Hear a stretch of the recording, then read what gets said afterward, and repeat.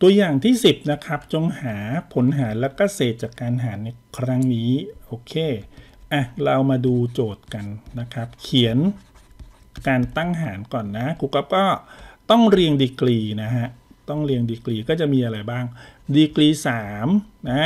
ดีกรี 2 ไม่มีก็ใส่ 0x กำลัง 2 ดีกรี 1 ไม่มีก็ 0x แล้วก็ลบ 2 นะครับ อย่างนี้นะ เราก็ไปเเอาตัวหารมานะครับ ตัวหารก็คือ x กำลัง2บวก2เอาขีดเส้นก่อนอ่าตัวนี้นะ เสร็จแล้วพอหารเราก็ทำเหมือนเดิมนะครับ น้องๆก็เอาตัวหน้าหารตัวหน้า x กำลัง2ไปหารใต้ x กำลัง3ก็จะเหลือ 1x คูณกลับลงมาก็เป็น x กำลัง3ทีนี้พอเอาตัวนี้มาคูณกับ 2 เนี่ย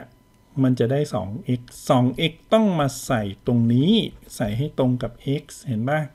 อืมแล้วเราก็ขีดเส้นนะครับ แถวบนลบแถวล่าง ตัวนี้ 0x ลบ 2x ก็จะได้ลบ 2x เห็นไหมอ่าอันนี้ก็แบบหาแล้วก็จะเยอะขึ้นนิดนึงนะครับ พจน์มันจะเพิ่มเข้ามา จากนั้นเราก็ดึงลบ 2 ลงมาใช่ปะ่ะเดี๋ยวไปดึงลบ 2 ลงมาปั๊บนี่นะฮะ แล้วก็เอาตัวหน้าเนี่ยไปหารตัวหน้าอีกครั้งหนึ่งหารได้ไหม x กำลัง 2 ไปหารใต้ x ได้ไหม ปรากฏว่า หารไม่ได้ เห็นไหมครับ เพราะว่าตัวนี้ที่เป็นตัวตั้งใหม่เนี่ย มันมีดีกรีน้อยกว่าตัวหาร ก็เลยต้องหยุดนะครับ หยุด เพราะฉะนั้นทั้งก้อนนี้มันก็คือเศษ ทันนะอ่า เพราะฉะนั้นในการหารครั้งนี้มันได้แค่ x เฉยๆ นะครับ ผลลัพธ์คือนี่ฮะ x ตัวเดียวเลย เราก็มาสรุปว่าไอ้เจ้าตัวตั้งเนี่ยจะต้องเท่ากับ ตัวหาร คูณผลลัพธ์นะครับ แล้วก็บวกเศษนะฮะบวกเศษอะเรามาเขียนเรียบเรียงกันนิดนึง ตัวตั้งของเราคือ x กำลัง3ลบ2นะแค่นี้เลยห้วนตัวหารเราคือ x กำลัง2ผลหารเราคือ x ส่วนเศษของเราก็คืออะไร เศษของเราคือลบ 2x ลบ 2 นะครับ หรือถ้าเราจะดึงเครื่องหมายลบออกมาใช่ไหมเราก็จะได้ลบแล้วก็อะไร ดึงลบ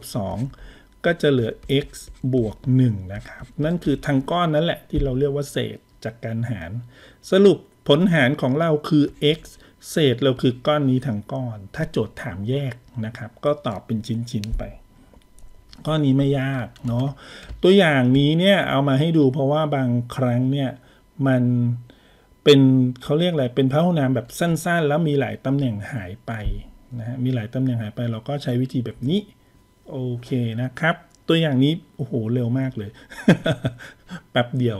อะนะลองซ้อมทำดูนะครับ จะได้ไม่พลาดเวลาโจทย์ดัดแปลงนะ แล้วเดี๋ยวเราไปดูในตัวอย่างที่ 11 กันนะครับ ตัวอย่างนี้จบแล้วครับ